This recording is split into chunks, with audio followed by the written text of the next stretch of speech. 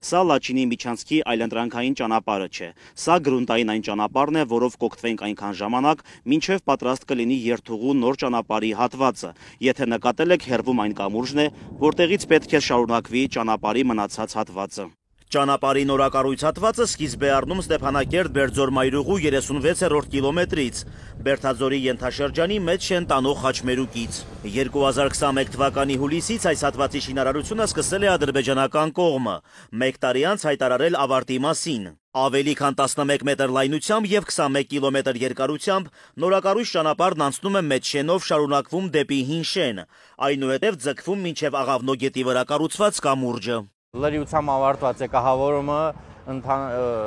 իրականացում է ներկա պահին որոշ տեղահատվածներում կողային առուների կառուցում։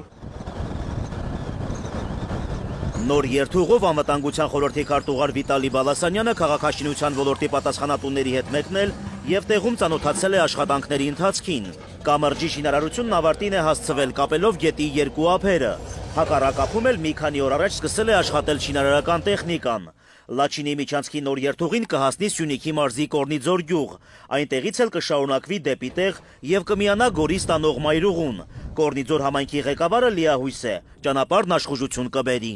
Ասենք թե տանել, բերել,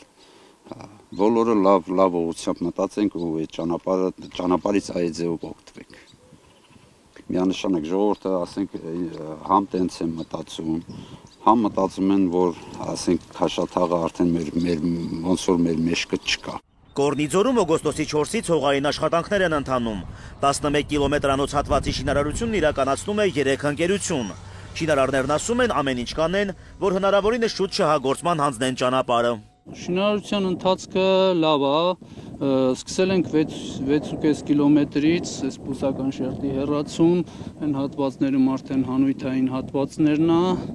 սպասում ենք լաբորատորիայի պատասխաններին, որ արդեն այս որտեղ որ բուսական շերտը մաքրել ենք, լիցք կանենք։ Ընդհանուր շարժվում ենք ըստ գրաֆիկի, հույս ունենք, եթե առայժմ խոչընդոտ չկա, չնախատեսված որևէ բան չկա, հույս ունենք, եթե չնախատեսված բան չլինի, սահմանված ժամկետներում ավարտին հասցնենք։ Հիմնական ճանապարհի շինարարությանը զուգահեռ աշխատանքներ են տարվում ժամանակավոր ճանապարհի ուղղությամբ։ Աղավնոն շրջանցող 4.5 կիլոմետրանոց խճապատ ճանապարհը վերակառուցելու է Արցախուղի ընկերությունը։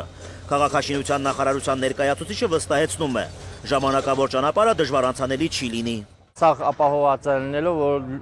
անխափան երթևեկությունը իրականացվի ցանկացած մեքենայի համար։ Հիշեցնենք, որ ադրբեջանական կողմը ռուսական խաղաղապահների միջոցով Լաչինի միջանցքն ազատելու պահանջ էր ներկայացրել, պարզաբանման, որ միջանցքի նոր երթուղու իրենց հատվածը կառուցել են։ Բանակցությունների արդյունքում որոշվել է Բերձորի Աղավնոյի եւ Ներքինսուսի բնակիչներին տարհանել մինչեւ օգոստոսի 25-ը։ Ռուս խաղաղապահները եւս պատրաստվում են վերատեղակայմանը։ Նոր ճանապարհին զուգահեռ ընթացքի մեջ են խաղաղապահների նոր հենակետերի բացազատման աշխատանքները։